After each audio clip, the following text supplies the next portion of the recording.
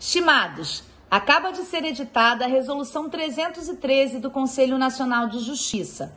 Ela estabelece um sistema de plantão extraordinário em toda a justiça brasileira.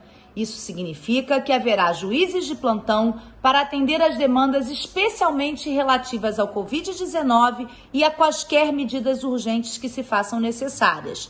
Haverá promotores, defensores públicos, advogados e serventuários à disposição da população. A justiça brasileira não para.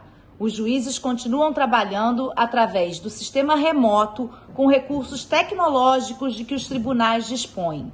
Importante dizer que os prazos processuais estão suspensos, tanto dos processos físicos como dos processos eletrônicos, de modo que os direitos dos cidadãos brasileiros permanecem resguardados. Quem não tem condição de acessar o seu advogado, o seu defensor, terá o seu direito protegido. Proteja-se. A prevenção é o melhor remédio nesse momento.